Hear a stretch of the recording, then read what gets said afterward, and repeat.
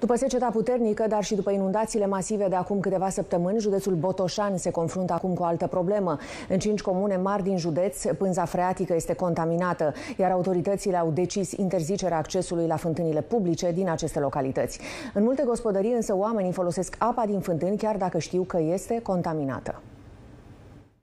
Mai multe comune din județul Botoșan se confruntă cu o gravă problemă sanitară. Din cauza inundațiilor din ultima perioadă, dar și a lucrărilor din anumite localități, comunele Șendriceni, Păltiniș, Prăjeni, Sulița și Georgenescu au acum pânza freatică contaminată, iar autoritățile au decis închiderea rețelei de alimentare cu apă și restricționarea accesului la fântânile publice. Dar totodată noi atunci avem uh, acum în derulare două proiecte în care pe rețeaua publică s-au făcut unele lucrări de modernizare și apa a fost întreruptă aproximativ cam 30 de zile într-un sat și vreo 40 ceva de zile într-un sat așa și când au venit de la DSP într-adevăr, ne-au comunicat că n-au ieșit, n-a ieșit apa la parametri optimi. În urma ultimelor analize a Direcției de Sănătate Publică din Botoșan s-a constatat că apa din aceste localități este infestată cu bacterii coliforme, nitriți și amoniu. Toate acestea pot duce la afecțiuni extrem de grave. Aceste analize de laborator au ieșit uh, prezența unor bacterii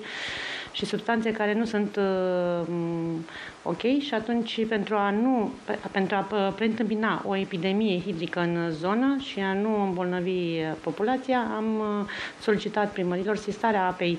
Pot declanșa anumite, v-am spus, această epidemie, de aceste boli digestive în primul rând, enterocolite, cum enteroviroze, cum le numim noi.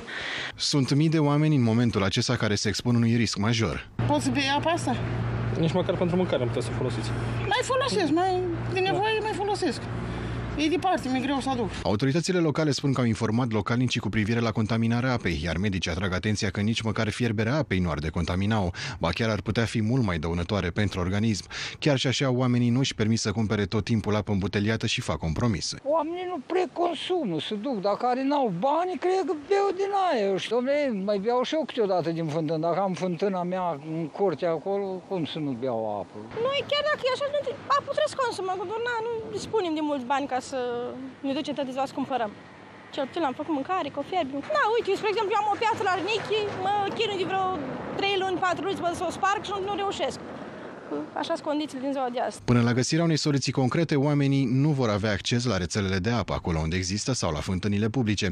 Un prim pas gândit de autorități este epurarea tuturor fântânilor. Este însă vorba despre mii de gospodării, iar acest proces ar putea dura săptămâni întregi.